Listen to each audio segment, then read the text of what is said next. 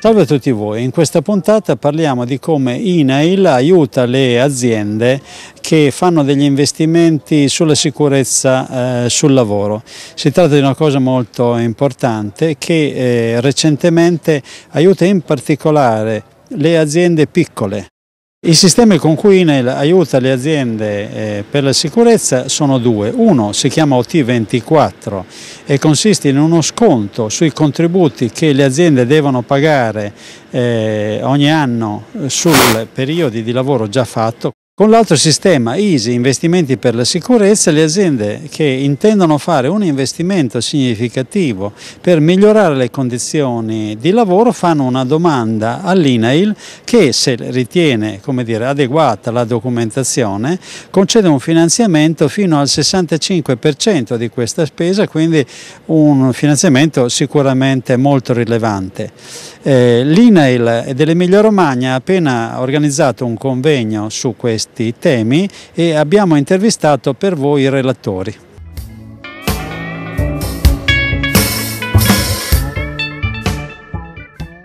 L'investire in sicurezza è realmente un investimento, non è una perdita perché aumenta anche la competitività, eh, si evitano problemi di sostituzione del personale che dovesse in qualche modo avere dei problemi e quindi l'azienda riesce ad essere ancora più competitiva sul mercato.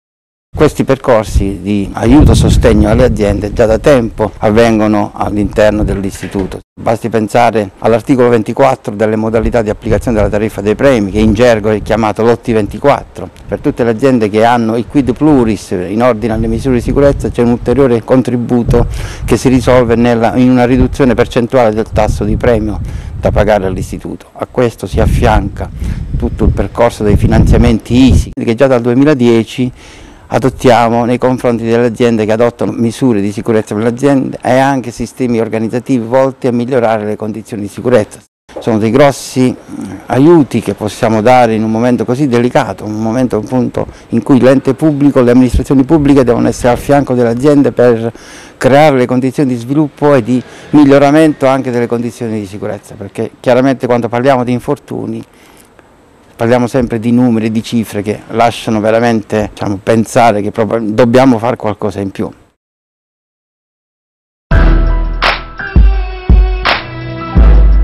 Hey, hey, irmão, hey, irmã. Quando o assunto é acidente de trabalho, prevenção não é só o melhor remédio, é a única solução. Hey,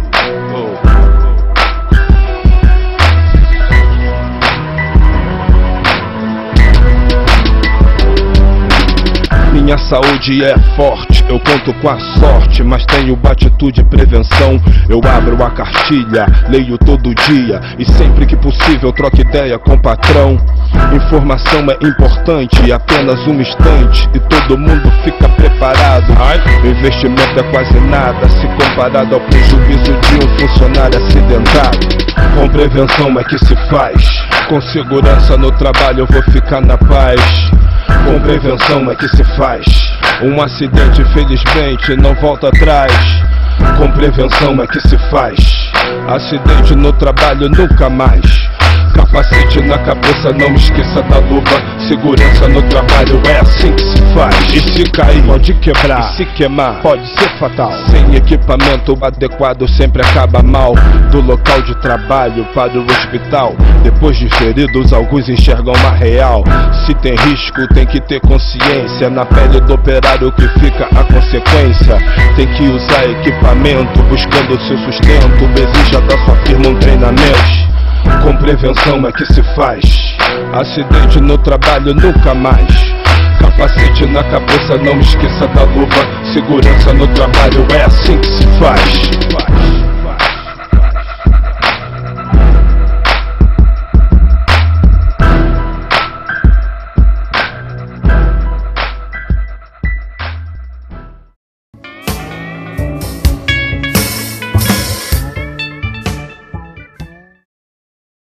Progetti ammessi al contributo sono progetti di investimento, i progetti di adozione di modelli organizzativi e di responsabilità sociale, i progetti per la sostituzione e l'adeguamento di attrezzature messe in servizio anteriormente al 21 settembre 1996 con attrezzature rispondenti ai requisiti di cui al titolo 3 del decreto legislativo 81 del 2008.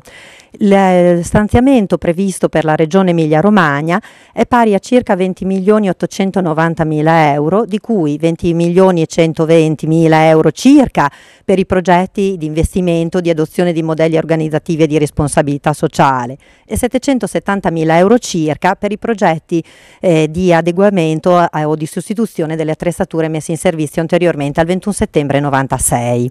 I destinatari del finanziamento sono tutte le imprese, anche individuali senza dipendenti, che ah, sono iscritte alla Camera di Commercio, Industria e Artigianato che hanno un'unità produttiva attiva nella regione Emilia-Romagna. Il finanziamento dell'istituto copre il 65% delle spese ammesse al contributo al netto dell'IVA, con un limite minimo di 5.000 euro, tale limite minimo non esiste per le imprese fino a 50 dipendenti che presentino un progetto di adozione di modelli organizzativi o di responsabilità sociale e un limite massimo di 130.000 euro.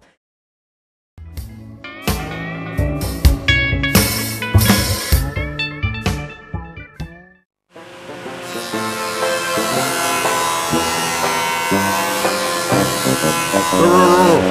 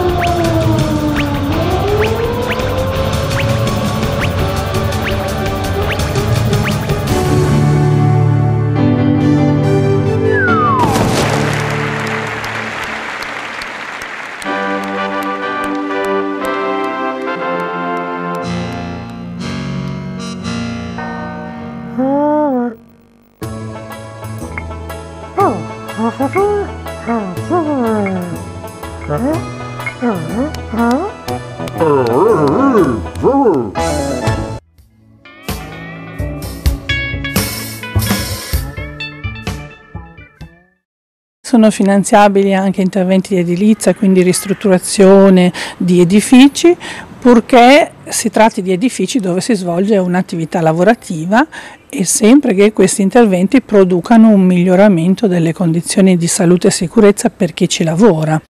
Anche l'adeguamento antisismico di capannoni o edifici è finanziabile con questi finanziamenti ISI, sempre che appunto ci sia un rischio sismico eh, contemplato nella valutazione dei rischi dell'azienda, può essere anche indicato non come rischio sismico ma come ad esempio rischio da crolli eh, o da possibili esplosioni in caso di scosse sismiche. Chi avesse già adeguato le strutture alla normativa antisismica eh, può comunque averne un vantaggio economico perché eh, da quest'anno è possibile inserirli come eh, tipi di intervento validi per ottenere l'oscillazione del tasso per interventi di prevenzione già effettuati nel corso del 2013. Eh, la rimozione di coperture in Eternit, in amianto, eh, anche questo è finanziabile, però riguardo a questo ci sono delle specifiche nel bando, cioè noi in sostanza andiamo a finanziare ben volentieri la rimozione dell'amianto e la sostituzione con una copertura standard, cioè con eh, tegole oppure mm, pannelli o ondulati, eccetera, però standard. L'inserimento di elementi tecnologici diversi come possono essere i pannelli fotovoltaici o, eh, o altro, insomma, non è finanziabile, quindi va escluso come spese. Anche l'incapsulamento di, di, coperture in amianto o comunque di manufatti in amianto è finanziabile, eh, devo però dire che ha un punteggio in termini di efficacia leggermente inferiore.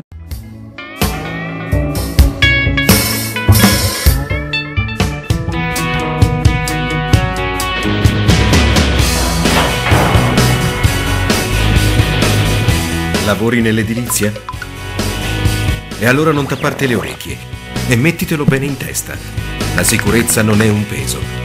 Allacciati alle norme e non gettare i consigli. Agganciati alla vita. Se osservi bene le regole, ti metti al sicuro, eviti i passi farsi e non inciampi.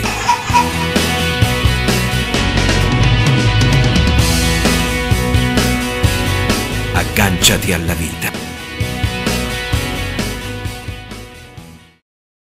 Abbiamo appena visto con eh, gli esperti dell'INAIL che ci sono due sistemi di finanziamento degli investimenti sulla sicurezza sul lavoro che è da una parte lo T24 che è lo sconto sulle tariffe eh, che devono essere pagate oppure l'ISI che invece una richiesta di finanziamento per migliorie sulla salute e la sicurezza. In entrambi questi casi l'adozione di modelli di gestione della salute e della sicurezza eh, sul lavoro in azienda sono tenuti in forte eh, rilevanza.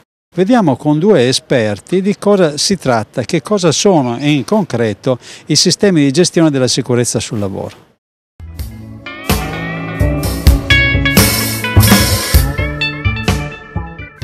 Parliamo di modelli organizzativi per prevenire gli infortuni sul lavoro. Nella nostra esperienza abbiamo valutato che eh, non esiste una correlazione fra dimensione ed attività svolta dalle aziende. Ci possono essere delle aziende di ridotte dimensioni che per l'attività che svolgono sono coinvolte pesantemente nei, nelle tematiche della sicurezza, ossia svolgono attività estremamente pericolose. Partendo da questo dato abbiamo voluto sviluppare uno studio sul campo in una cooperativa di logistica e di facchinaggio con 40 addetti per sviluppare all'interno della società un modello organizzativo per prevenire gli infortuni sul lavoro.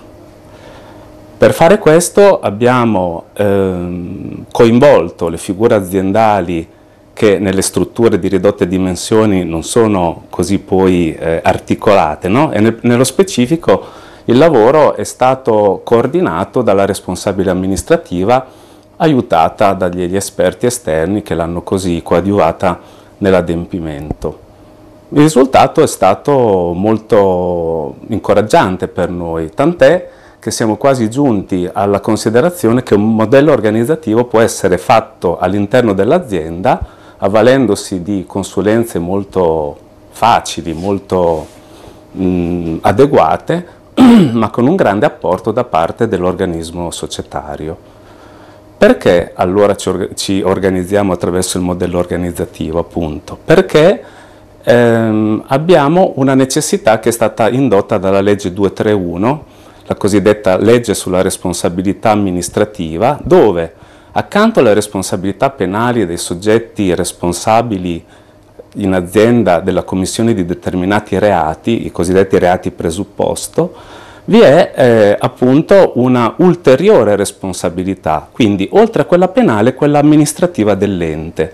L'ente che rischia di suo, cioè rischia il suo patrimonio, nel caso in cui il giudice condanni appunto la società per non aver vigilato sulle condotte dei suoi vertici oppure anche dei suoi subalterni, quindi figure intermedie o come li potremmo definire dipendenti o collaboratori.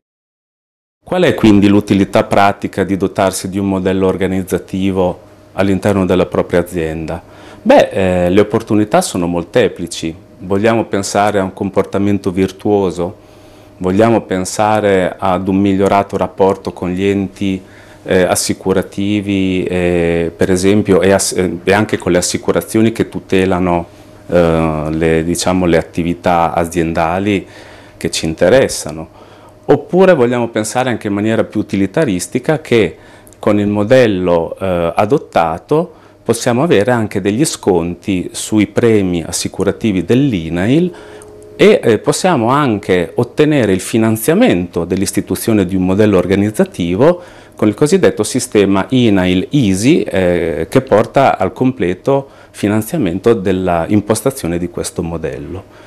Di conseguenza, non ultima, è la necessità di preservare anche il patrimonio aziendale, perché in casi concreti dove è stata applicata la responsabilità amministrativa, le sanzioni sono arrivate fino a un milione di euro. Di conseguenza l'azienda rischia veramente l'estinzione a fronte di un comportamento inadeguato che venisse sanzionato in questi termini.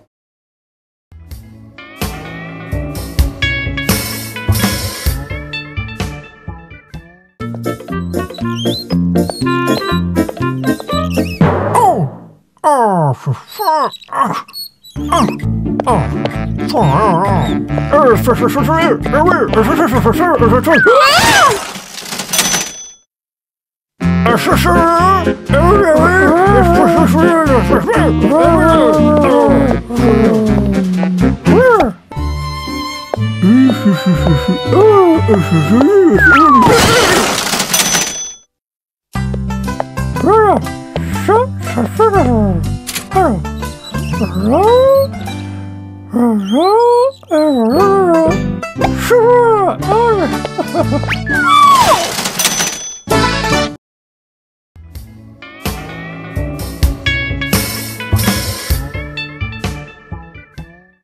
Credo sempre di più che bisogna andare sotto la veste della maggiore organizzazione e nella logica dei sistemi. Bisogna ragionare sui sistemi di gestione.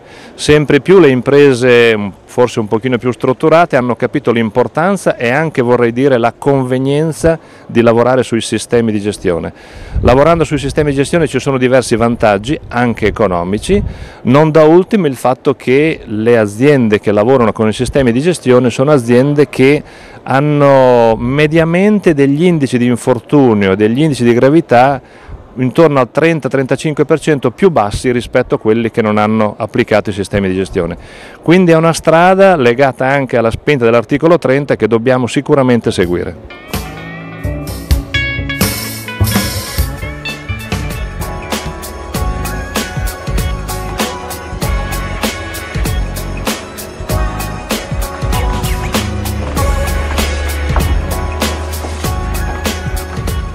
Negli ultimi 25 anni oltre 2800 persone sono morte nei cantieri edili dello Stato canadese della British Columbia a causa delle lesioni subite durante infortuni sul lavoro.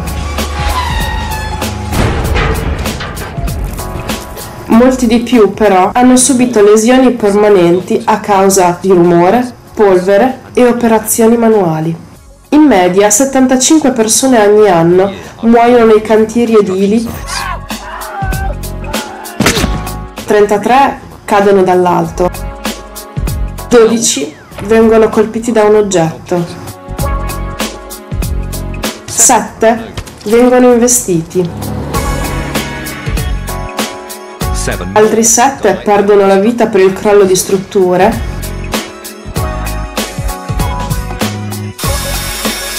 6 muoiono per scossa elettrica e i rimanenti 10 perdono la vita per varie cause.